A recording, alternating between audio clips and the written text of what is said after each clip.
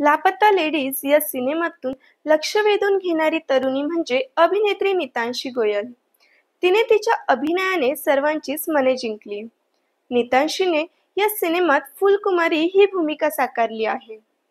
हा cinema O T टीवर release झाल्यापासून फुलकुमारी आणि दीपक यांच्या रेल्वे स्टेशनवरील क्लायमॅक्स सीनने जोरदार लोकप्रियता मिळवली. नुकतंच आय एम डी बी बरोबर बोलताना नितांशीने शूटिंग दरम्यान घडलेल्या काही खास क्षणांची आठवण सांगितली. क्लायमॅक्स सीन साठी तिने खूप मेहनत घेतली. शूटिंगच्या वेळेस स्टेशनवर खूप गर्दी होती. ती काही वेळा समोरच्या व्यक्तीला धडकायची सुद्धा. असंच एका टेकमध्ये ती एका व्यक्तीसोबत इतकी जोरात धडकली की तिचा पाय मुरगळला. पण त्यानंतरही तिने तो सीन पूर्ण केला. त्यानंतर सीन पूर्ण करून ती वॅनिटी व्हॅनमध्ये गेली. तेव्हा तिला डॉक्टरांनी एका आठवड्यात बेड रेस्ट सांगितला.